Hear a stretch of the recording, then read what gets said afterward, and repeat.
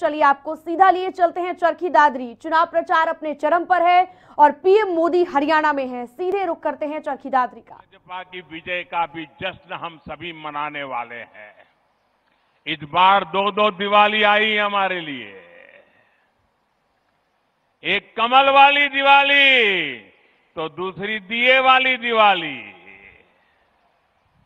लेकिन मैं आपको फिर याद दिला दूँ ये दिवाली हमारी बेटियों के नाम होनी चाहिए। जो बेटियाँ लक्ष्मी बनकर हमारे परिवार, हमारे समाज, हमारे देश को गौरव दे रही हैं, उनकी उपलब्धियों का पूजन ज़रूर होना चाहिए। भाइयों और बहनों, देश की बेटियों की, हमारी बहनों का स्वास्थ्य, स्वाभिमान, सुरक्षा और सशक्तिकरण हमारे लिए सर्वोच्च प्राथमिकता रही है। स्वच्छ भारत अभियान से घर घर और हर स्कूल में शौचालय बनने से बहनों को सुविधा भी मिली है और उनका सम्मान और स्वाभिमान भी बढ़ा है।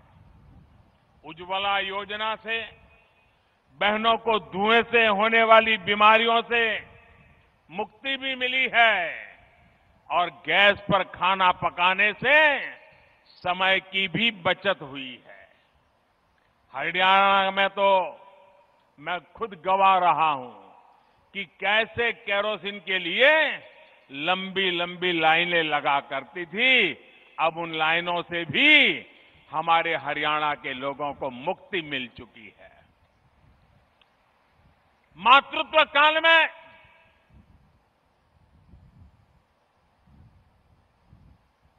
सरकार में काम करने वाली, कंपनियों में काम करने वाली, हमारी माताएँ, बहनें, मातृत्व काल में अब छह हज़ार रुपये की सीधी आर्थिक सहायता इन सभी गरीब माताओं के खाते में जमा हो रही है ताकि गर्भावस्था में वो अच्छा खाना खा सके, पोषक आहार ले सके। होने वाली माँ का स्वास्थ्य भी अच्छा रहे और होने वाले संतान का स्वास्थ्य भी अच्छा रहे, इसकी चिंता भी ये सरकार कर रही है। समय समय पर स्वास्थ्य की जाँच भी हो रही है। इतना ही नहीं। माता बनने के बाद जब माँ खुशियों से भरे हुई होती है तो हमारी सरकार ने तय किया कि जो सरकार में काम कर रही हमारी माताएँ बहनें हैं, शिक्षक हो, नर्स हो पुलिस में हो, कहीं पर भी हो, माँ बनने की खुशियाँ वो जी भर के अपने बच्चे के साथ बिता सके। इसलिए हमने नौकरी में छह महीने तक की तनख्वाह के साथ छुट्टी देने का निर्णय कर लिया ताकि पहले छह महीने वो माँ संतान के साथ जी भर के जिए और संतान का भी सही विकास का काम शुरू हो जाए। भाइयों और बहनों, बेटियों के आर्थिक सशक्तिकरण के लिए, स्वरोजगार के लिए भी अभूतपूर्व कदम उठाए जा रहे हैं। इस बजट में एक अहम घोषणा की गई है। सेल्फ हेल्प ग्रुप से जुड़ी बहनें, स्व सहाय जो हमारी माताएँ बहनें, गरीब माताएँ बहनें जो 11 बहनें 15 बहनें 21 बहनें इकट्ठी होती हैं ऐसी बहनें अपने जनधन बैंक खाते से अपनी बचत के अलावा भी पाँच हज़ार रुपये अपनी ज़रूरत के लिए बैंक से उधार ले सकेगी। अब किसी साहूकार के पास नहीं जाना पड़ेगा, उसको अपना गहना गिरवी नहीं रखना पड़ेगा और घर में भी वो सम्मान के साथ जी सकेगी, ये हमने किया है। इतना ही नहीं, हर सेल्फ हेल्प ग्रुप की एक सदस्य मुद्रा योजना के तहत एक लाख रुपए का ऋण भी सीधा बैंक से ले पाएगी। भाइयों बहनों, ये अपने आप में बहुत बड़ा क्रांतिकारी कदम हमारी सरकार ने उठाया। ऐसे ही अनेक कदम भाजपा सरकार निरंतर उठा रही है, जिससे राष्ट्र निर्माण में बेटियों की भूमिका को और विस्तार मिलेगा। साथियों, ये पूरा क्षेत्र तो खेत खलिहान से लेकर खेल और युद्ध के मैदान तक राष्ट्र के लिए अपना योगदान देने वालों का है। ये तीनों विषय आपस में जुड़े हुए हैं। क्योंकि इन तीनों में दो बातें कॉमन है, सामान्य है। पहली बात, इन तीनों में राष्ट्रभक्ति कूट कूट कर करके भरी होती है। दूसरी बात, इन तीनों ही क्षेत्रों में श्रम शक्ति तप त्याग और तपस्या के संस्कार होते हैं। भाइयों और बहनों जब ये दोनों बातें एक साथ आ जाती है, तब किसी राष्ट्र को ताकतवर बनाने से कोई भी नहीं रोक सकता। यही कारण है कि हरियाणा की, देश की इसी शक्ति को सशक्त करने का प्रयास किया जा रहा है। खेल और खिलाड़ियों को प्रोत्साहित करने के लिए अभूतपूर्व प्रयास हो रहे हैं। हमारे युवाओं की फिटनेस के लिए, उनको व्यायाम की तरफ़ प्रोत्साहित करने के लिए फिट इंडिया अभियान देश में चल रहा है। खेलो इंडिया अभियान से गाँव के स्तर पर छोटे छोटे बालक बालिकाओं की प्रतिभाओं की पहचान की जा रही है। उनको प्रोत्साहित किया जा रहा है। प्रतिभा की पहचान से लेकर ओलंपिक के मैदान तक खिलाड़ियों को आज सुविधाएँ दी जा रही है। हमारे खेलों में पारदर्शिता और प्रोत्साहन की इस नई रति नीति के हरियाणा के मेघावी खिलाड़ियों को बहुत लाभ हो रहा है।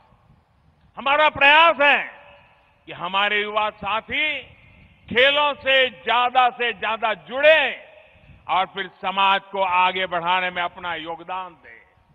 यही कारण है कि बेटी बबीता जी, जैसे अनेक साथी भाजपा के साथ जुड़ रहे हैं और आज आपके बीच में पूरे समर्पण के साथ काम करने के लिए तैयार है।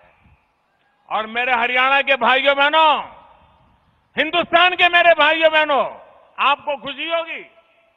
पिछले दिनों चीन के राष्ट्रपति मुझे मिले। हम इनफॉर्मल समिट के लिए इकट्ठे हुए थे। बीच बीच में हल्की फुल्की भी बातें होती थी।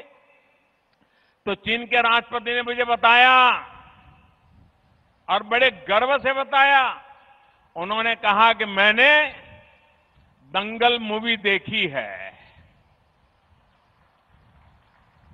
और बोले, आपकी बेटियाँ कैसा कमाल करती हैं, ये पूरा मूवी मैं बोले देख के आया हूँ।